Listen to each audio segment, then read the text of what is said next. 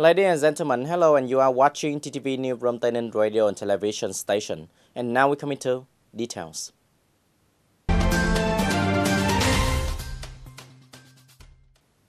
Ladies and gentlemen, after one week of Lunar New Year holiday 2020, in the morning of January 30, Ernsi and Eunice in province officially entered the first working day. Hundreds of people implemented administrative procedures at the Provincial Public Administration Center right from 7.30 a.m. At the Public Administration Center of the province, people mainly implemented procedures for changing driver's license, renewing identity cards, and citizen identification. Although it's the first working day of the Lunar New Year, officials and employees at the province Public Administration Center were fully and on time to conduct administrative procedures for the people. In order to save time when conducting administrative procedures, after applying the records at the counters of the Provincial Public Administration Center, some people choose to receive the results by the Public Postal Service. Being established and official put into operation in March 2018, the Nang Province Public Administration Center has formed its roles as the focal point for receiving applications and turning results for the administrative procedures under jurisdiction and settlement responsibilities of departments and branches in the province. The center's operation is increasingly stable, with the system of facilities being invested and arranged in a modern and friendly way so that people feel comfortable when coming to carry out administrative procedures.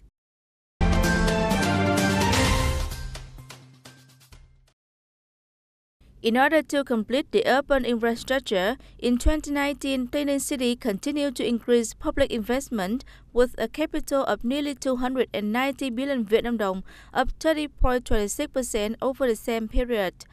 In particular, the province has allocated 35 billion Vietnam dong for the city to implement the city stadium project and the city's wastewater collection and treatment system.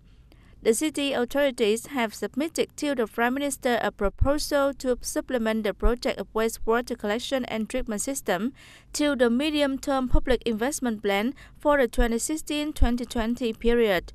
Last year, the province also provided target capital of more than 156 billion Vietnam dong for the city to implement projects including urban embellishment, building new rural areas, building primary school meeting national standards, and projects on building and repairing offices of agencies.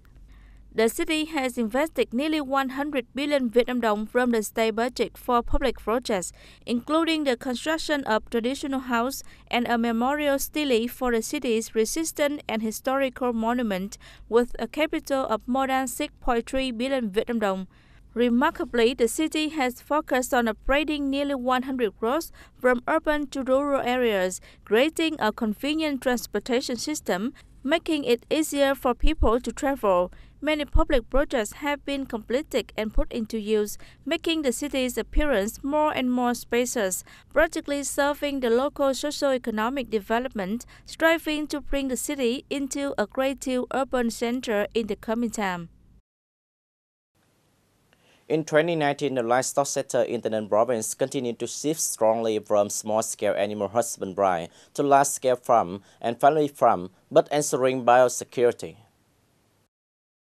Currently, the province has 1,467 farms and family farms, increasing nearly 2.4% over the same period. The proportion of animal husbandry accounts for 15.4% of the agriculture. There are 58 chicken and pig farms granted gap certificates.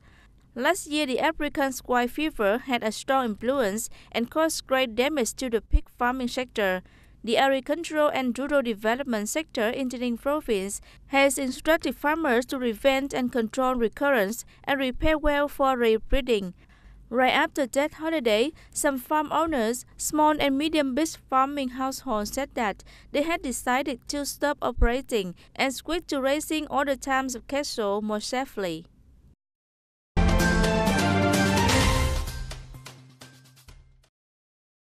The total production value of economic sectors of Tân Châu district in 2019 was estimated at over 14,600 billion Vietnam dong, up 5.3% over the same period.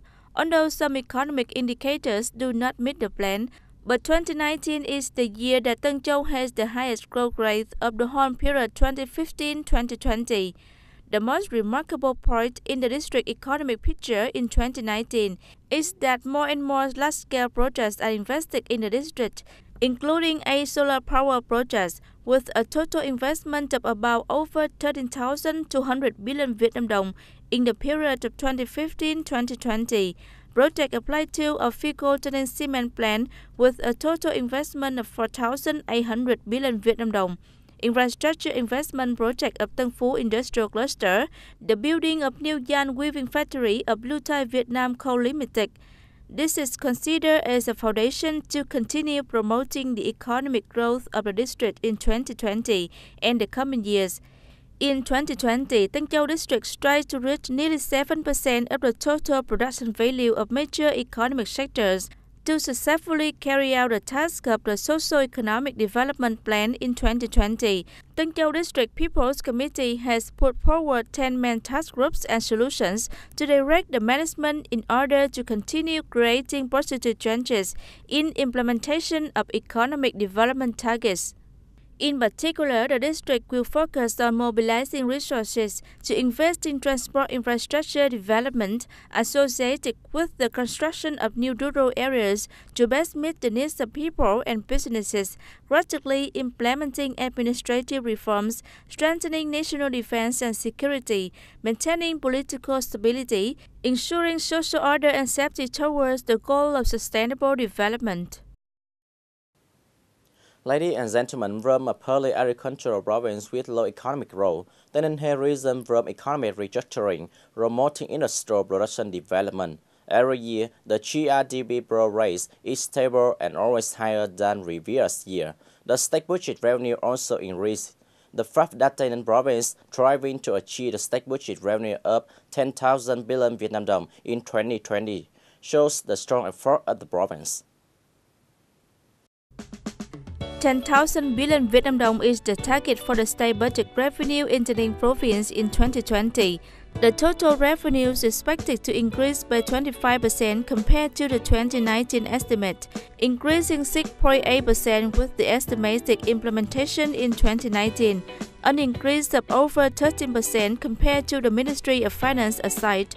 Import and export tax revenues estimated at 750 billion Vietnam dong, up over 15% over the forecast. The figure of 10,000 billion Vietnam dong of the state budget revenue is a memorable milestone of the province after more than 20 years of striving. From 500 billion Vietnam dong when Tây Ninh province joined the budget collection club in 2001, this figure has been increased after each period and by 2019 the state budget revenue in Tây province reached over 9,600 billion Vietnam dong, exceeding 20% of the estimate of over 25% over the same period.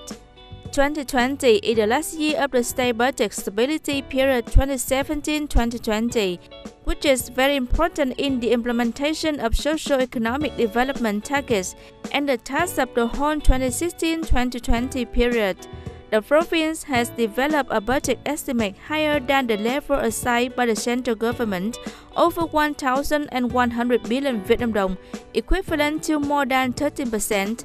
This figure is the record and unprecedented increase that the province tried to achieve in recent years. In order to achieve the set goals, at the conference on implementing the Socio-Economic Mission 2020 of the People Committee of the Ninh Province, Mr. Dương Văn Thắng, Vice Chairman of the Provincial People's Committee, said that it's necessary to take measures to enhance enterprise financial management, monitor the implementation of state budget revenue and payment promptly and fully, According to the economist's forecast, the business and production situation of enterprises has been maintained stably with a development direction. Along with that, the province has been taking measures to remove difficulties and create favorable conditions for enterprises. The province economy in 2020 is expected to achieve higher growth and budget revenue.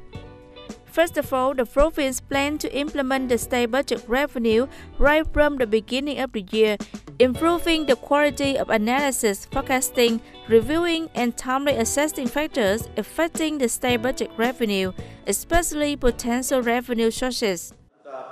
We must successfully implement budget revenue and expenditure. I also suggest that the basic construction works should be implemented well it needs to overcome the assignment of extended plan, slow disbursement, usually at the end of the year, just like the last year.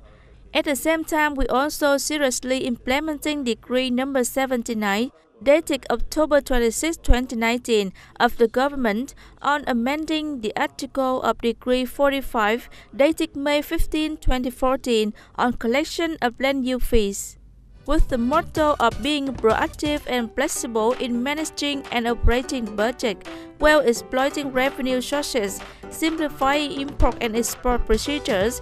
This will be important basis for the province to complete the state budget revenue task and have more resources to implement multi-projects and socio-economic tasks in 2020. Ladies and gentlemen, that's all for today TTV News. Thank you for being with us and goodbye for now.